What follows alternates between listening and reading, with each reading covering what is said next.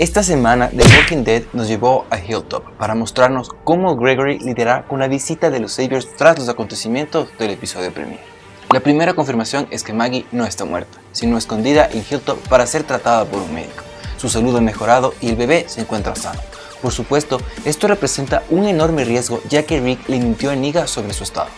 En todo esto, Jesus será una gran ayuda y traerá un equilibrio moral, esto es un mundo donde la maldad es lo normal y resaltan las personas que son buenas. Y es por esto que Jesus funciona dentro de este universo.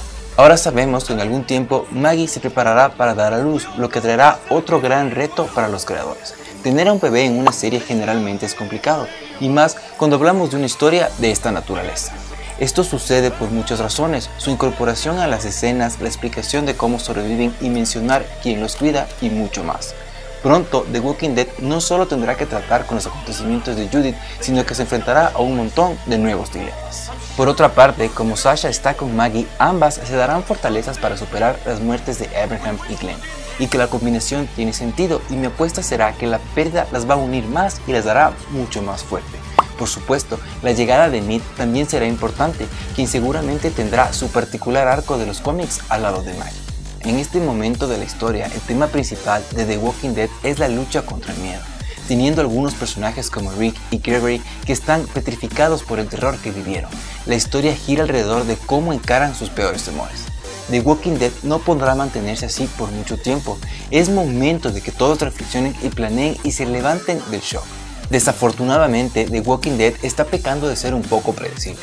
No voy a hacer referencia a este punto a lo de Maggie, porque me parece que no hubo intención real de hacernos creer que había muerto. Pero un ejemplo podría ser la escena de las botellas de alcohol, cuando Gregory lleva a los Saviors al closet y Maggie y Sasha no están ahí, que fue demasiado evidente. Ahora, esto está mal en la serie carezca de sorpresas, pero tal como el cliffhanger de The Walking Dead anuncia demasiado las cosas y entrega lo que sabíamos que ya iba a suceder. El veredicto, la esperanza del grupo y de los espectadores está en que pronto haya un plan para desestabilizar a los Saviors. Fue genial ver a Steve Ogg de nuevo, él es un gran villano, pero The Walking Dead necesita darle otras motivaciones y matices a sus villanos para que sean interesantes. Esperemos que el estrés postraumático termine pronto.